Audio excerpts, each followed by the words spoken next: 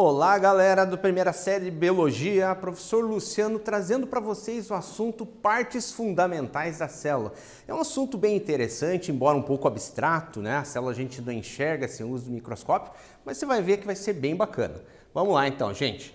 Objetivo da aula: retomar um pouco da história e importância da microscopia, entendendo que sem o microscópio nada seria possível, é, estudos né, nenhum a respeito ali da célula. Abordar também sucintamente o que seria a chamada teoria celular e também relacionar as partes fundamentais da célula com seus diferentes tipos celulares. Então aqui a gente já vai entender que não existe um tipo de célula, um formato só de célula. Então vamos lá. Beleza. Eu sei que você sabe. Muito bem. Se o nosso corpo é formado por células, que ta tamanho teriam, teria caso enfileirássemos todas as células do nosso corpo formando um grande cordão? Gente, nós não temos 100, 200 células, nós temos trilhões de células. Isso varia de tamanho de pessoa para pessoa, de um adulto para uma criança. Então vamos lá. O corpo humano adulto é formado de entre 60 a 90 trilhões de células. Agora, se considerássemos uma criança com cerca de 37,2 trilhões milhões de células, enfileirássemos todas essas células, né, uma do lado da outra, seria o suficiente para dar 19 voltas em torno do nosso planeta. Para a gente ver o quanto de célula uma única pessoa tem. Então imagine toda a humanidade, todos os 7 bilhões estimados de pessoas que existem no mundo, ok? Uma matéria da Folha de São Paulo para vocês, gente, bem interessante também. O Brasil entra em projeto que quer mapear todas as células humanas. Já houve um projeto né, no final do século XX, que chamava Projeto Genoma Humano, em que foram mapeados todos os genes que compunham o ser humano. Isso foi fundamental para outros estudos posteriores que temos até hoje. Agora o Brasil vai embarcar no chamado Atlas das Células Humanas, que também é um tipo de um projeto genoma, só que a gente vai estudar a célula em si, o todo celular, não apenas ali o DNA, ok? A primeira versão do Atlas deve conter cerca de 10 bilhões de itens, uma quantidade realmente grande de coisas. Muito bem. Gente, para que tudo fosse possível, foi necessário desenvolver o microscópio. O microscópio tem toda uma história, ok? Hoje nós temos microscópios um pouco mais modernos e também algumas adaptações com lentes, com é, aparelhos de celular que você consegue ampliar a imagem e tal, mas existem também outros tipos de microscópio que são chamados microscópios eletrônicos, que permite uma ampliação da imagem muito mais vezes do que um simples aparelho aí dos, do, de, de mesa, né, ou de celular e tudo mais. Esses microscópios eletrônicos nos permitem visualizar coisas que não seria possível você analisar com microscópio óptico de mesa. Seria impossível, né? Você consegue detalhes, muitas vezes, de dentro da célula. Esse daqui são imagens chamadas de varredura, que vem a parte externa, mas tem cortes que a gente consegue analisar, as chamadas organelas celulares que estão dentro da célula. Vamos entender aqui, gente, partes fundamentais de uma célula. Então aqui está dividido uma célula eucarionte e para cá uma célula chamada procarionte. Muito bem. Dentro da eucarionte você vê uma maior chamada complexidade de organelas, que não tem na célula procarionte, embora as duas tenham muitas especializações importantes, cada um na sua função, tá? Então a célula procarionte, por exemplo, tem ribossomos, tá? A eucarionte também tem ribossomos, mas a eucarionte tem uh, organelas que a gente chama de membranosas que não estão presentes na célula procarionte. Mas uma coisa fundamental que diferencia uma e outra é a presença do núcleo celular, que a gente já vai ver mais na sequência.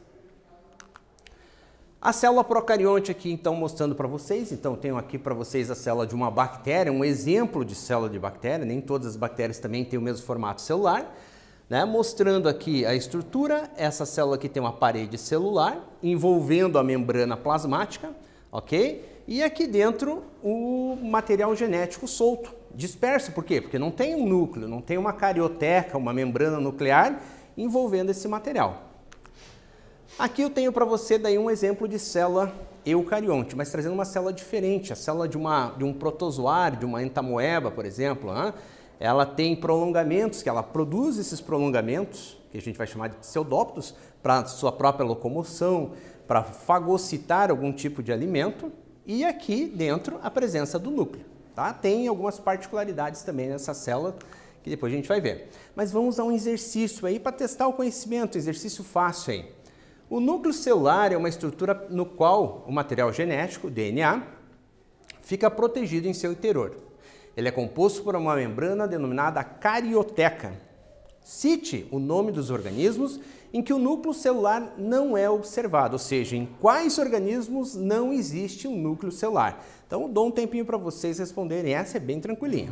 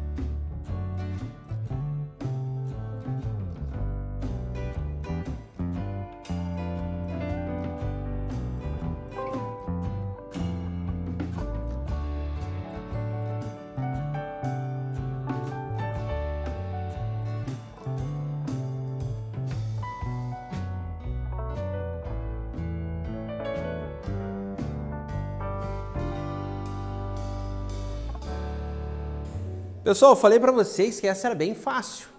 Os organismos que não apresentam o um núcleo celular são chamados de procariontes. Exemplos, bactérias, cianobactérias e tudo mais. Muito bem, gente. Um esquema geral que eu trago agora para vocês da célula animal. tá? Trazendo assim uma ideia geral, claro, tem variações, né? mesmo na célula animal tem tipos diferentes, conforme o tecido da qual ela faz parte, né? E nós temos aqui o núcleo, né, mostrando que é uma célula eucarionte, beleza? Nós temos aqui mitocôndrias, lisossomos, temos organelas celulares diversas, complexo golgiense, retículo endoplasmático liso e rugoso, né? Nós temos aqui centríolos, enfim, e uma substância que está presente em todo ele, que seria o citoplasma, onde estão imersas essas substâncias, ok? E também um exemplo de célula vegetal. Basicamente, tudo aquilo que a gente falou que tem na célula animal, também você vai observar na célula vegetal, com alguns detalhes. Beleza, quais são esses detalhes? As células vegetais possuem uma estrutura é, membranosa, tá? Essa estrutura membranosa é especial, ela tem seus próprios, é, sua própria natureza ali, a parte, né? Seus ribossomos e tudo mais, mas ela tem uma substância chamada clorofila, que permite um processo que vocês já estudaram no ensino fundamental, que seria a fotossíntese. Então ela tem essa capacidade, tem essa organela a mais. E também existe um complemento fora, externo à membrana plasmática, que a gente vai chamar de parede celular. E existe a parede celular, então, em todas as células vegetais. Vamos a mais um exercício. Apesar de serem eucariontes, as células animais e vegetais possuem diferenças essenciais. Bom, vamos entender o seguinte, né? Mesmo dentro de uma célula animal já existem diferenças, imagine entre uma animal e uma vegetal. E dentro da vegetal também, conforme o tecido da qual ela faz parte, também você vai observar diferenças. Mas essencialmente entre a animal e a vegetal existem diferenças básicas. Cite três estruturas que aparecem somente em células vegetais e que não aparece em células animais. Aí você tem que dar uma paradinha, pesquisar um pouquinho e a gente já volta. Um tempinho para você.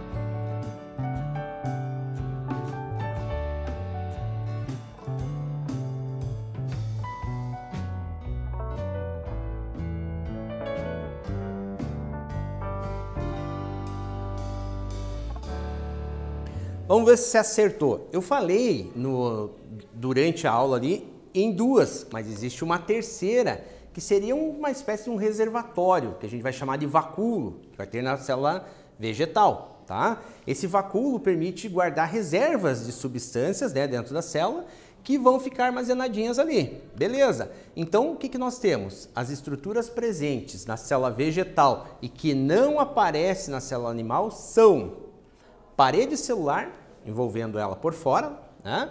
os cloroplastos, que são aquelas organelas especiais que possuem clorofila e fazem a fotossíntese, e o vacúolo, que serve como um reservatório, seja um local de reserva de substâncias para a célula. Muito bem. Trouxe aqui, gente, um comparativo entre as células, entre as organelas, né, as organelas celulares que existem dentro das células. Vamos considerar aqui é, uma célula geral, não vamos especificar se é animal ou vegetal, tá? E uma cidade, como se fosse uma cidade. Então, assim, existem organelas, organelas seriam mini órgãos com funções específicas dentro de cada uma das 100 trilhões de células, vamos colocar lá, e que tem uma função específica. Então, vamos lá. Na cidade, uma usina hidrelétrica corresponderia a uma mitocôndria na célula. O que, que ela faz? Ela fornece energia Tá? Ela faz um processo de respiração celular. Com esse processo, ela gera energia que seria necessária para a célula funcionar. Muito bem. Um restaurante, a gente teria daí comparado com os lisossomos, que é uma estrutura, são estruturinhas, né, organelas celulares, que ajudam a digerir substâncias que estão ali no citoplasma, vindo de fora ou de dentro da célula, fazendo né, a fagocitose daquilo ali.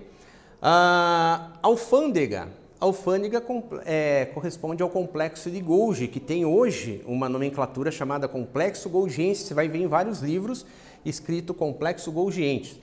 Ele tem uma função específica ali. Ele armazena substâncias, ele faz um empacotamento, ele cria vesículas naquelas substâncias e distribui, exporta aquilo, ou para dentro ou para fora da célula. Tá? Então ele tem uma função bastante importante ali. A farmácia celular corresponderia ao retículo endoplasmático liso. O retículo endoplasmático liso é uma estrutura, né? Uma, ali seria aqui a, a ele faz esse metabolismo de, medicamentos e distribui várias né, substâncias, porém ele é chamado liso porque ele não tem ribossomos aderidos à sua estrutura, sua membrana, né? E nós teríamos ali a rodoviária, que seria o retículo endoplasmático de um modo geral, que faz o transporte disso por toda a célula. Mas aí nós vamos ter aquele que vai, vai ter ribossomos aderidos à sua membrana. E vamos chamar ele de retículo endoplasmático rugoso. Também em alguns livros você vai ver como granuloso, ok? Temos a biblioteca com toda a informação, todo, tudo ali que fala sobre a célula. Ela está presente no núcleo e lá é o central de armazenamento das informações. Informações o quê? Informações genéticas, informação que vem de pai para filho, de filho né, para neto e assim vai indo, tá? E assim, dentro dessas informações, tem as características e tem também uma ordem de produção de proteínas que vão né, no, é, é produzir aquilo que o corpo precisa. As ruas são chamados microtúbulos, tá? que fazem a interconexão, cruzam a cidade, a célula e tudo mais. E temos as fronteiras, que seriam né, considerada ali pela membrana plasmática, aquilo que envolve por fora, fronteira da célula, fronteira da cidade, né? O que, que ela faz? Controla a entrada e saída de substâncias, né? No caso de uma cidade de pessoas. Então ela faz a seleção por critérios pessoais dela própria. Anota aí, gente. A célula é a unidade estrutural e funcional dos seres vivos, ok? E apresenta como partes fundamentais a membrana plasmática, o citoplasma e o material genético. Isso daqui você vai ver em todas elas, certo? Tanto nas eucariontes quanto nas procariontes. As principais organelas celulares e suas funções são, vamos lá, as mitocôndrias responsáveis pela respiração e com a respiração ela produz energia para toda a célula. Os ribossomos, que fazem a síntese proteica, a síntese de proteínas, ou seja, eles pegam a ordem que vem lá do DNA e produzem proteínas de acordo com aquele organismo, de acordo com aquela necessidade. Temos o retículo endoplasmático, que é o liso e o rugoso, ou granuloso e não granuloso, que faz a produção de proteínas, no caso do aquele que tem ribossomos, o granuloso, né? e produção de lipídios, aquele que não tem é, os ribossomos aderidos. O complexo Golgiense, que faz o armazenamento, empacotamento, ele exporta a substância né, do, dele próprio. Temos os lisossomos, que fazem aquele trabalhinho de digestão celular, de substâncias que vêm de fora da célula ou que vêm de dentro, tá? E os peroxissomos, oxidação. E também tem os vacúolos, né, que a gente viu lá na célula vegetal, que faz a reserva, o armazenamento de substâncias diversas. Então vamos relembrar o que a gente viu nessa aula. O microscópio é um instrumento essencial para conhecermos o mundo microscópico. Nós não saberíamos nada, absolutamente nada do uh, mundo celular, vamos dizer assim, se não fosse, não fosse o microscópio. Graças a ele a gente tem esse aprofundamento.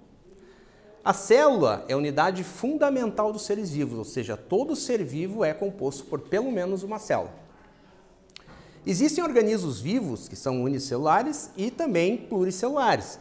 Os unicelulares são aqueles que são feitos por uma única célula e os pluricelulares, também chamados em alguns livros de multicelulares, são formados por várias células.